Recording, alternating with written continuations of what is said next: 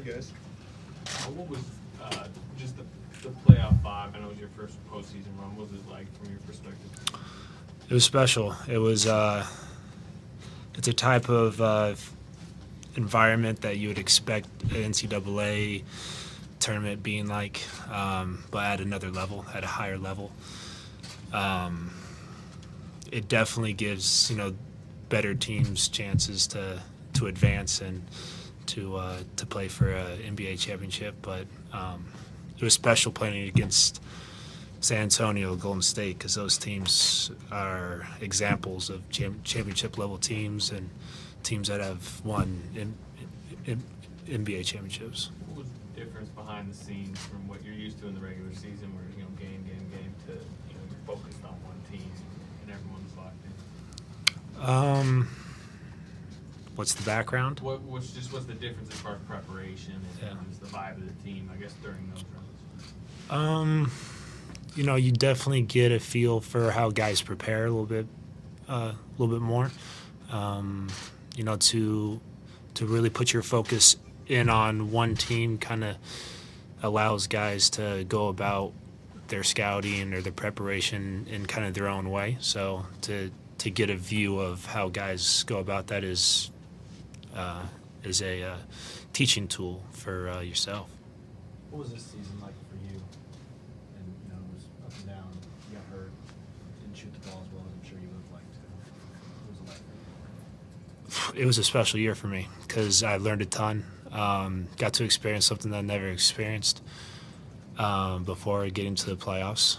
Uh, personally, I think there's always that that feeling of wanting to do better, to perform better. Um, so I definitely have that. But um, to uh, to go through a full year with the team was amazing. I don't want to be anywhere uh, anywhere else. I don't want to play for another team. This team is uh, the best team that I've ever played for. So um, don't take any. I don't take anything back, and I really gained some experience and some knowledge going through this year.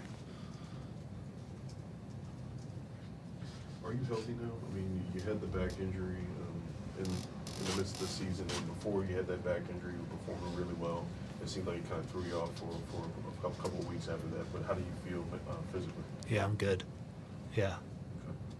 It's a weird thing going through a back injury and being out just a, a few days and then all of a sudden feeling good again.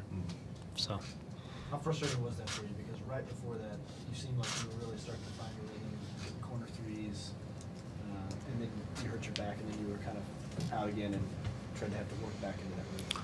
any any uh, injury stuff it kind of uh, it you know it, it puts you out of what you do of what you love to do. So um, kind of how I viewed it was it's just a test. It's a test to uh, see how resilient you are. Um, as a team too I thought we kind of held up as as a group. Um, but individually I just had a couple times where I wasn't able to to play so um, it's a tough thing to go through, but you got to figure out why you're going through it and to learn from it. Your career shooting numbers in Detroit, you know, near 40% three point shooter, really dipped this season. Why? Why do you think uh, that not your shooting numbers specifically dipped? Well, I haven't made as many shots. I mean, what- is there a reason more uh, consistent playing time in Detroit, anything like that, or just They're all factors. Everything's a factor, but um, bottom line is just got to shoot the ball better. At the end of the day. As you went through the playoffs, you, I mean, you said you learned a ton, and um, was one of those things just sort of like a guy with your size, length, profile, ability to impact the game on both ends of the floor? Is that the type of player that, that is necessary in the playoffs? It seemed like Thunder has a lot of those guys. Golden State had a lot of those guys. Antonio had a lot of those guys. Yeah, but then you also throw other guys in the mix too, like Russell and Kevin, Serge. You know, those guys are special. Yeah, S- Adams, Andre had a great series for us. Guys off our bench, dudes that can really con- uh, contribute to our team.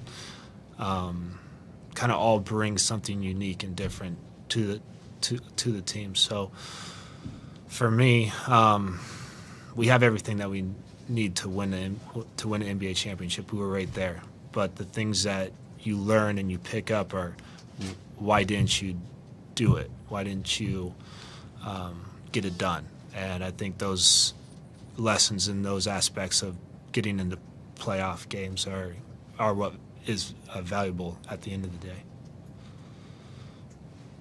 What's your offseason gonna consist of in terms of training? Are gonna be primarily here, you're gonna go back to Oregon, or what's that gonna be like? Yeah, I'll I'll be here. Um, I'll take a couple trips just to kind of get away, but my training and my summer is going to be in in in Oklahoma. Are there any guys on the team specifically you work with? Staff wise, Oh, like players.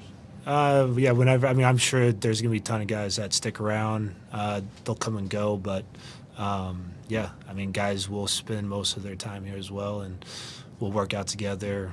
Um, maybe play one on one, two on two, depending on how many guys are here. Maybe leading up to summer league, there'll be some five on five, and I think I'll get into some of that as well. Anybody else? Thanks, Kyle. Thanks. Appreciate it, guys.